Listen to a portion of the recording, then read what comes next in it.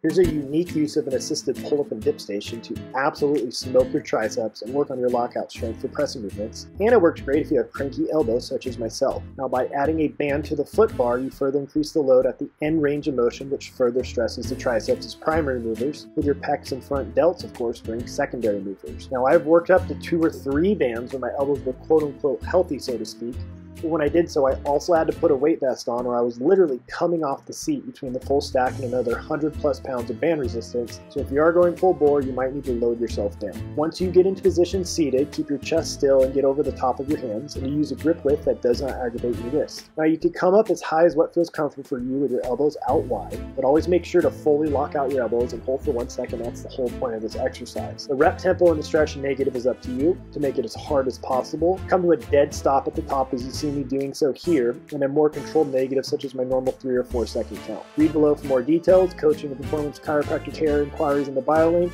If you